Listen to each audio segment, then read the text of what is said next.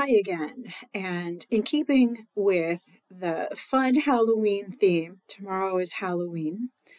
And I wanted to pop in and talk a little bit about dark empaths. And last year, around this time, I did a really fun social media campaign about this.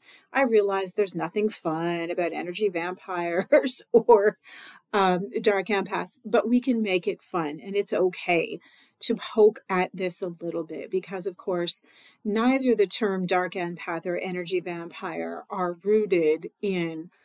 Uh, in in clinical data or information, and I myself personally think it is a good idea to take more of a lighthearted look at these concepts. So, what is a dark empath? I, I find this confusing myself. Um, and if anyone else has information that can help to clarify this, chime in. But I think that there are those people who are empathic, but who are disconnected from their own inner emotional experience. I think there are also people who are very good at picking up on the, the most negative things we're thinking. I'm going to get in trouble for this, but I think that those who have the unfortunate diagnosis and label of borderline personality disorder, again, I am not fond of this term, but I think that they can very much be dark empaths. And I think that they feel things even more intensely and pick up on things even more intensely than your garden variety empath, let's say. And that isn't a bad thing. It's what they've had to do to survive and they are hyper vigilant around sensing someone's negative feelings because they've had to be. It's been part of their um, survival mechanism. And I think that narcissists can also be dark empaths, especially the vulnerable ones. But the whole concept of being a dark empath is that you are able to fake empathy, you fake kindness, you fake being nice, there's a school of thought that these are the folks who have very dark senses of humor, right? Like they say something, but it's not funny. And um, you will walk away from your exchanges with them being a little bit confused and bewildered about, you know, where they were coming from. Both dark empaths and energy vampires are snipers. They lay in wait, they get your trust, they they learn where you're vulnerable and they use it against you. So I'm going to come back to this definition.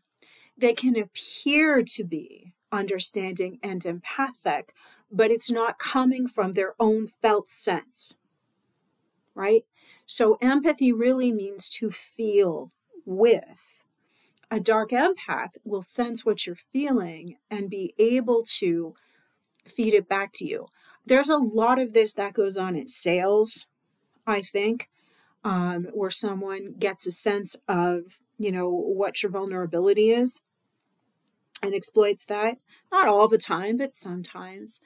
Um, dark empaths are very good at manipulating you to get information that then they can later use against you. So, this is something that correlates with personality pathology. But I also think that some dark empaths are out there under the guise of, you know, being healers or mystics or psychics or mediums. And I love all of those things as much as the next person. But, um, you know, there is always the possibility of someone not being honest or above board or a bit of a charlatan.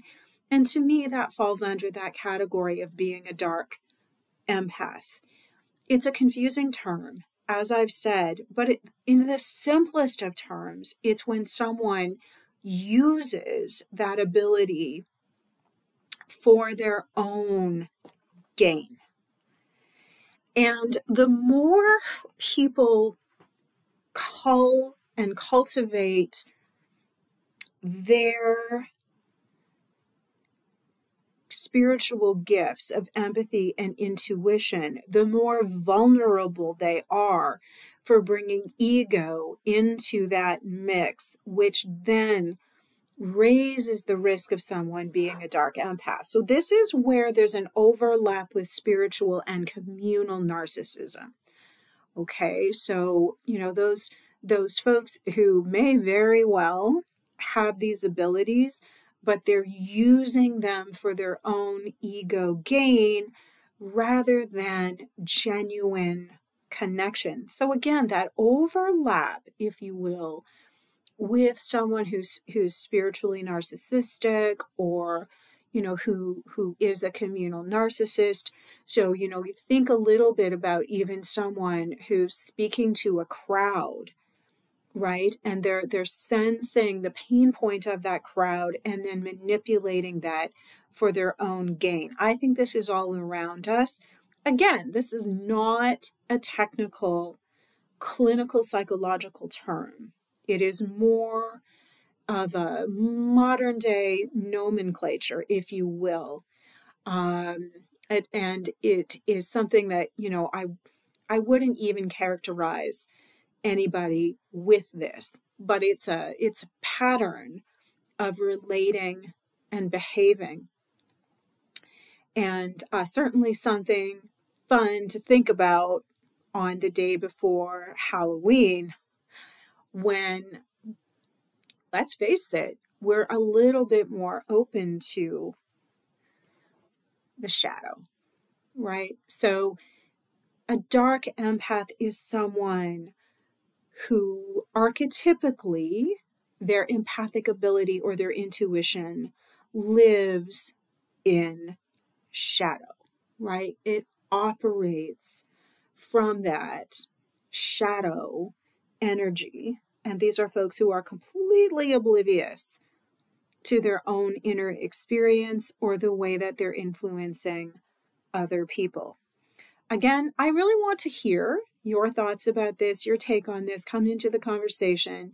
Uh, maybe you know something about this I don't. I'm super curious to hear what that is. So comment, like, subscribe, and uh, I wish you a super fun Halloween if if you celebrate that. Take care.